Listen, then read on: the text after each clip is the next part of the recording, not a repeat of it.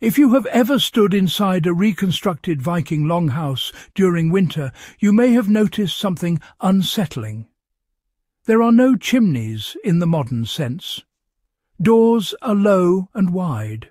Walls are made of turf, wood and earth. By every modern building standard, these structures should have been freezing wind tunnels. Yet archaeological evidence, soot layering, animal habitation patterns and historical accounts all agree on one thing. Viking longhouses remained livable through some of the harshest winters in Europe. This was not luck.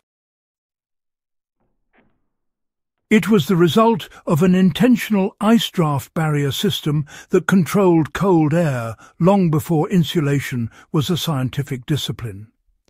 What follows is not myth or romanticism, but a practical breakdown of how this system worked and why it still matters today. Cold air was treated as a physical substance that could be trapped, slowed and exhausted.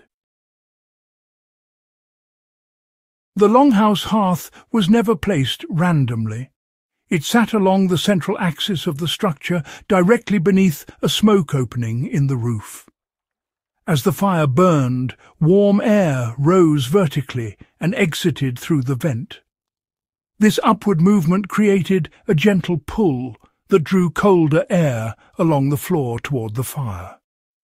Instead of cold drafts roaming freely, they were guided into a predictable path where they could be reheated. This created a stable convection loop that continuously recycled interior air. The effect was subtle but constant.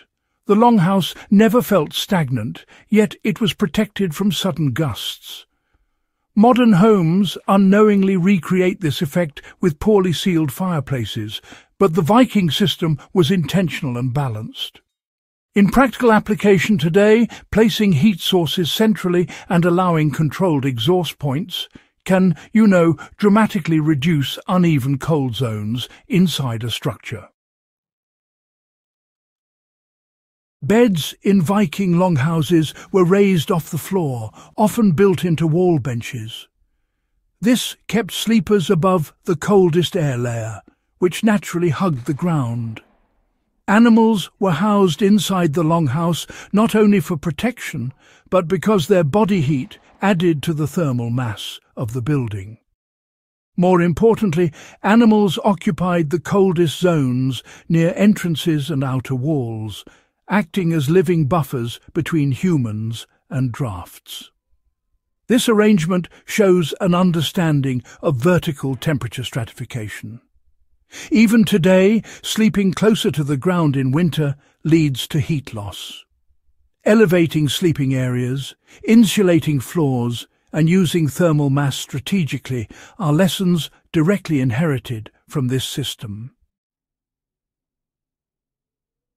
The steeply pitched roofs of longhouses were not only for snow shedding, they also allowed warm air to rise without stagnation.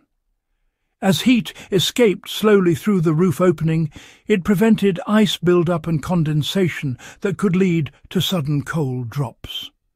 The roof materials, often layered with thatch and birch bark, absorbed moisture while maintaining airflow resistance.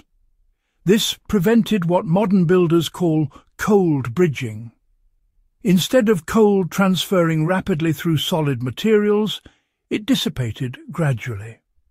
Applying this today means paying attention to roof ventilation, moisture control and layered construction rather than relying solely on sealed membranes. One of the most overlooked aspects of this system is flexibility. Walls could be thickened with additional turf in winter. Door coverings could be added or removed. Fire intensity could be adjusted to alter airflow. The system responded to weather, not the other way around. This adaptability is something modern buildings often lack. For those interested in applying this knowledge practically, start by identifying where cold air enters and settles in your space. Lower drafts should be trapped, not fought. Heat sources should guide air movement, not overpower it. Materials should slow airflow rather than attempt to seal it completely. These are Viking principles that remain relevant in off-grid living, emergency shelters and energy-efficient homes. This forgotten system explains why longhouses endured for centuries. The Viking longhouse was not primitive. It was precise. Its ice draft barrier system was the result of generations of observation, failure and refinement. It allowed families to survive winters that modern infrastructure still struggles against. Understanding this system is not about nostalgia. It is about reclaiming knowledge that worked because it respected physics, climate and human needs.